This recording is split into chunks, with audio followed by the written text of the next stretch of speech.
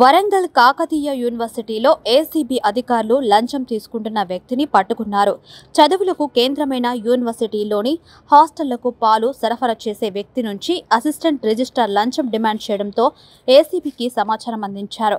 దీంతో assistant registrar ఇవాళ ఉదయం లంచం తీసుకుంటుండగా అవినీతి నిరోధక శాఖ అధికారులు పట్టుకున్నారు.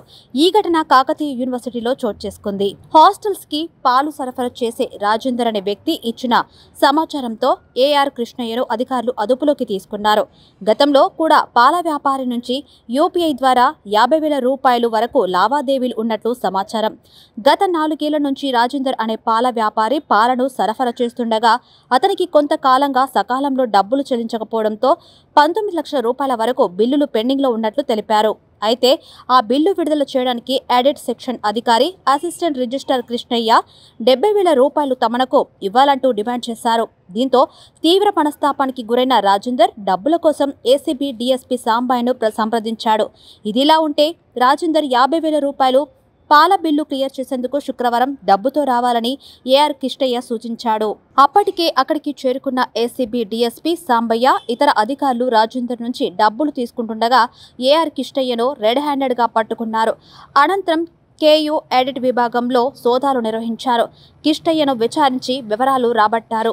అయితే ఇదే తరహాలో మొదటగా విద్యార్థుల ట్యూషన్ ఫీజులు ఇతర రుసుముల స్వీకరణలో జరిగిన మూడు కోట్ల రూపాయల కుంభకోణంపై ఏఆర్ కిష్టయ్య ప్రిన్సిపల్ బన్నా ఐలయ్యపై కమిటీ విచారణ చేపట్టింది. అదే సమయంలోనే వీసీ రమేష్ కిష్టయ్యను మరొక క్యాంపస్కు బదిలీ చేశారు.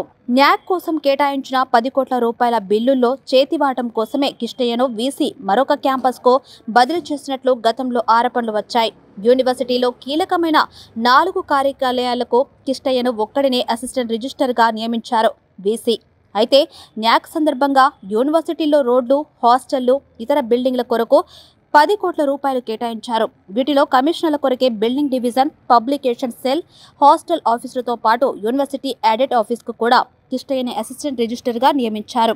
అయితే ఇంకా దీని వెనుక బీసీ లాంటి పెద్ద పెద్ద తిమింగిలాలు ఉన్నాయనే అనుమానాలతో ఏసీపీ విచారణ జరుపుతున్నట్లు సమాచారం. నేను గత నాలుగు సంవత్సరాల నుంచి యూనివర్సిటీకి పాలు పెరుగు సప్లై చేస్తున్నాను. అందులో భాగంగా నాకు ఐదు నెలల నుంచి పేమెంట్లు బ్యాలెన్స్ పెట్టారు. అప్పుడు వచ్చి ఉన్న డైరెక్టర్ మంజుల మేడం అకౌంట్స్లో డబ్బులు లేవు యూనివర్సిటీ ఫండ్ ఖాళీ అని చెప్పేసి డబ్బులు ఆపింది.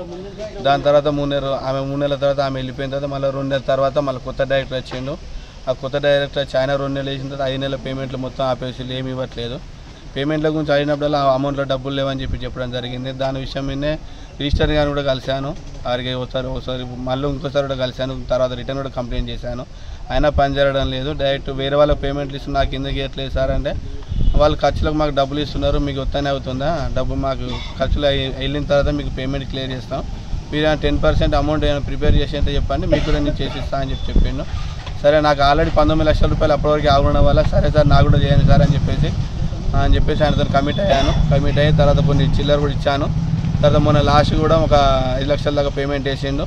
వేసినాక నాకు యాభై వేలు ఇస్తేనే నీకు రిమైనింగ్ పేమెంట్ చేస్తాను లేకపోతే చేయలేను.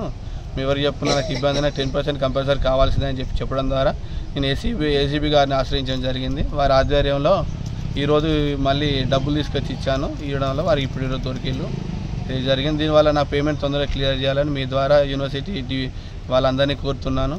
Thank you